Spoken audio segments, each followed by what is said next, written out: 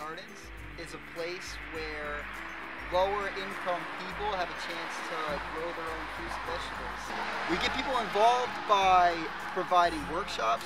Uh, usually there are monthly workshops. Uh, this past month, as you can see behind me, is um, growing a low bed, keeping it, keeping your outdoor vegetables warm even though there may be a frost coming up, there are some. Throughout the last several years, I've really seen people um, getting motivated and seeing um, the impact that just working in the garden for a couple of minutes every week or like an hour every week and also the impact of eating, eating healthy foods that you're growing yourself has on people and to me that's really um, what drives me to do the work that I'm doing. When I first got here there was one of these high tunnels so it's evolved a lot since I have moved to West Virginia. I moved to West Virginia three years ago as an AmeriCorps VISTA, um, and VISTA stands for Volunteer in Service to America, and it was a year-long program, and I was, um, my position was local foods coordinator, so that's how I really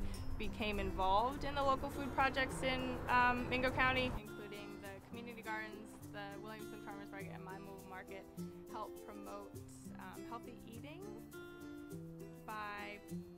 So right now we're at the community garden. Um, at the within these tunnels, one of which I'm standing in, uh, we grow produce for the farmers market. Mingo County is classified as a food desert, so many parts of the county have low access to fresh fruits and vegetables. Mingo County is statistically um, quite unhealthy. The obesity rates are high, and additionally, much of the population are low income. Access to healthy foods is a real issue here. So we brought fresh fruits and vegetables to people and also helped them afford them, those fresh fruits and vegetables by distributing vouchers and we also accepted food stamps so that low income residents could purchase those.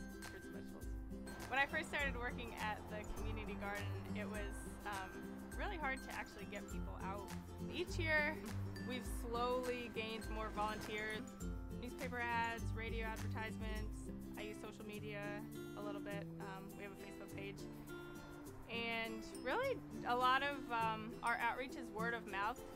Many people were skeptical of how it was going to work or whether it was going to work and so a lot of the work fell on just a few people. Now this summer we're working with local youth and growing warriors. Um, Tug Valley High School, which is a local high school, just uh, started an agriculture program. So this summer we'll be hiring six um, interns from Tug Valley to help work at local farms.